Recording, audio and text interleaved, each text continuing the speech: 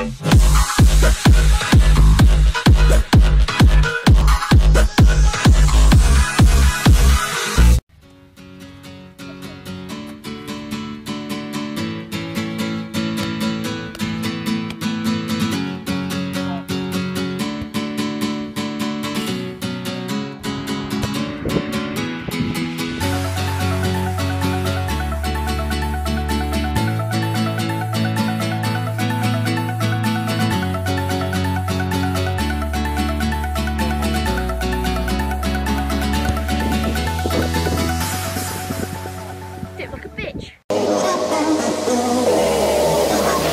Touch mine.